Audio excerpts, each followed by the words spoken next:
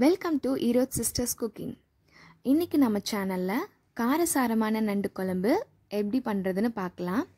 இந்த நண்டு குழம்பு பார்த்திங்கன்னா நெஞ்சு சளி பிடிச்சவங்களுக்கு கொடுத்தோன்னா சளியெல்லாம் கரைச்சிட்டு வந்துடுன்னு சொல்லுவாங்க.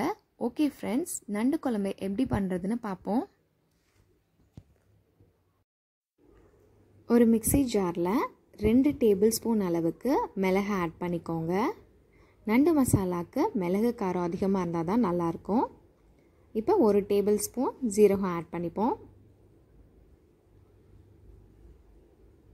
ஒரு டேபிள் ஸ்பூன் சோம்பு ஆட் பண்ணிக்கோங்க. கொஞ்சமாக கருவேப்பிலை. கருவேப்பிலை எல்லாம் ஆட் பண்ணிப்போம். ஆட் பண்ணிவிட்டு இதை வந்து கொரகொரப்பான பதத்தில் வந்து ரொம்ப நைஸாக வேணால் அந்த மாதிரி அரைச்சி எடுத்துக்கோங்க. இப்போ இதில் சின்ன வெங்காயம் ஆட் பண்ணிவிட்டு அரைச்சி ஒரு பவுலில் வந்து மாற்றி எடுத்து வச்சுப்போம்.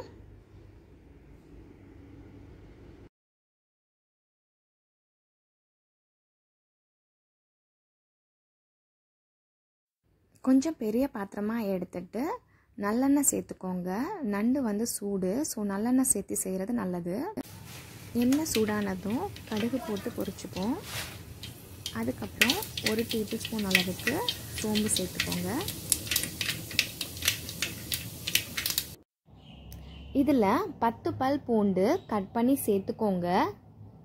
கூடவே ஒரு கப் அளவுக்கு பெரிய வெங்காயமும் ஒரு கப் அளவுக்கு சின்ன வெங்காயம் சேர்த்து பொன்னிறமாக மிதமான ஹீட்டில் நல்லா குக் பண்ணணும்.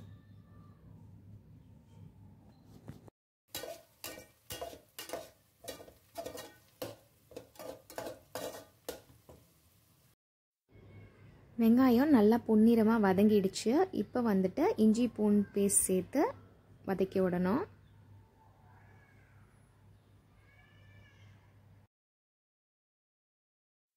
இஞ்சி பூன் பச்சை வாசனை போய் வதங்கிடுச்சு. இப்போ நம்ம அரைச்சி வச்சுருக்கிற மசாலாவை இதில் சேர்த்திக்கலாம்.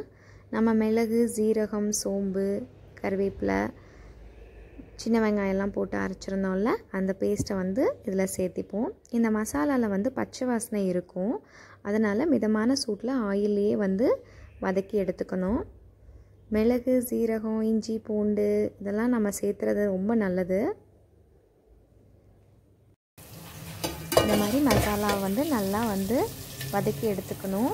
மிதமான சூட்டில் எண்ணெயில் வதக்கி எடுத்தது பிறகு நம்ம வந்து இதில் மஞ்சள் தூள் சாம்பார் பொடி தனியாத்தூள். இந்த மூணையும் வந்து ஆட் பண்ணிக்கோங்க. ஆட் பண்ணிவிட்டு நல்லா வந்து மிக்ஸ் பண்ணி விடுங்க.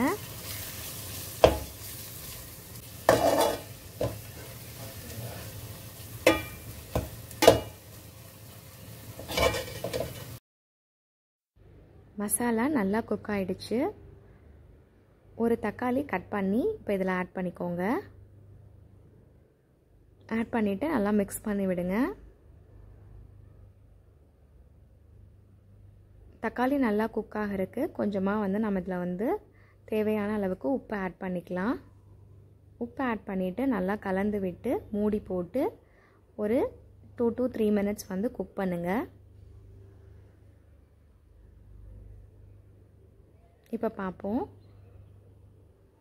தக்காளி நல்லா வந்து குக்காகி வந்திருக்கு. எண்ணெய் எல்லாம் பாருங்கள் பிரிஞ்சு எப்படி வந்திருக்கு. ஸோ மசாலா நமக்கு ரெடி ஆயிடுச்சு. பார்க்கவே ரொம்ப எம்மியாக இருக்குது நல்லா வந்து மிக்ஸ் பண்ணி விடுங்க.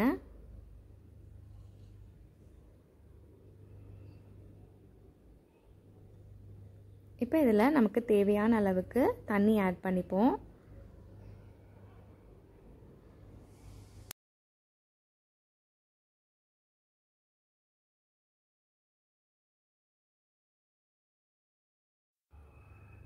தேவையான அளவுக்கு தண்ணி ஆட் பண்ணிவிட்டு நல்லா வந்து மிக்ஸ் பண்ணி விடுங்க. இன்னும் கொஞ்சம் கெட்டியாக இருந்துச்சுன்னா உங்களுக்கு தேவையான அளவுக்கு மறுபடியும் தண்ணி ஆட் பண்ணிக்கோங்க.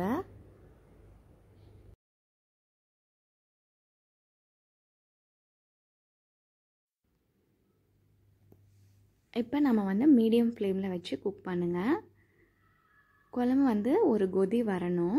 மூடி போட்டுட்டு குக் பண்ணுவோம்.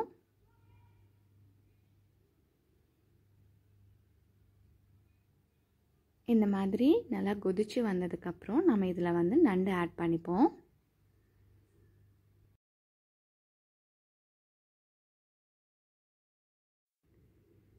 இந்த மாதிரி நல்லா மிக்ஸ் பண்ணி விட்டுக்கோங்க. மிக்ஸ் பண்ணி விட்டுட்டு மூடி போட்டு ஒரு இருபது நிமிஷம் வந்து குக் பண்ணணும். அப்போ தான் அந்த நண்டில் இருக்க அந்த சாரெல்லாம் இறங்கும். அவ்வளோதான். நம்மளோட காரசாரமான நண்டு மசாலா ரெடி ஆயிடுச்சு.